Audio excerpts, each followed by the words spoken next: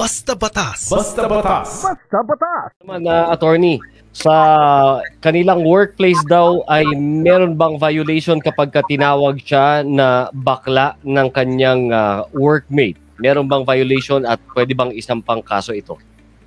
Well, sa tingin ko, no, pwedeng masampayan, pwede ka magsampa ng kaso, uh, siguro slander, sa pagkat ng pagtatawag ng bakla, bagamat hindi naman masama ang pagiging bakla, pero mm-hmm. syempre kung ikaw hindi bakla, eh, hindi mo naman gusto tatawagin ka ng ganyan. Pero mm-hmm. syempre para yan ay uh, maging ganap na kaso, dapat may pakita mo na may mali siya ang uh, pagtatawag sa iyo. So if that is the case, ay maaari kang magsampa ng complaint affidavit at isumiti mo sa piskalya para magkaroon ng preliminary investigation. Lamang yung mga ganitong kaso, ang parusa nito, pagbabayarin lang ng dalawang daang piso kadalasan.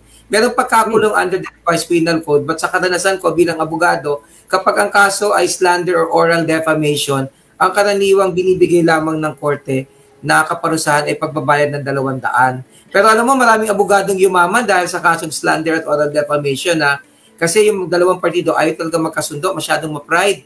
Di ba? Hmm. Ay na talagang uh, magbigayan. Eh, basta pa sa bandang huli, eh parang moral victory na napatunayan ko na tama ako.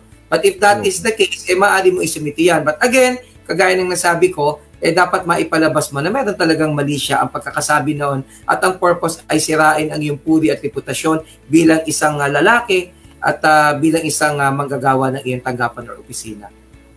Basta batas. Basta batas. Basta batas.